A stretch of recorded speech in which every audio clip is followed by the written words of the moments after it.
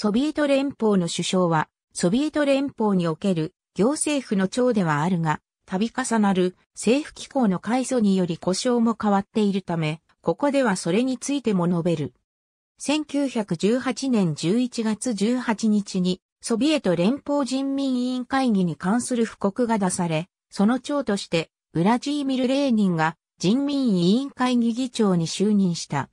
同年に交付されたロシアソビエト憲法において人民委員会議が行政府として規定されると同時に人民委員会議議長が行政府の長としての職務を遂行することも規定された。1946年3月、人民委員会議はソビエト連邦閣僚会議に改組され、それに伴いその長の職名も閣僚会議議長と改められた。ありがとうございます。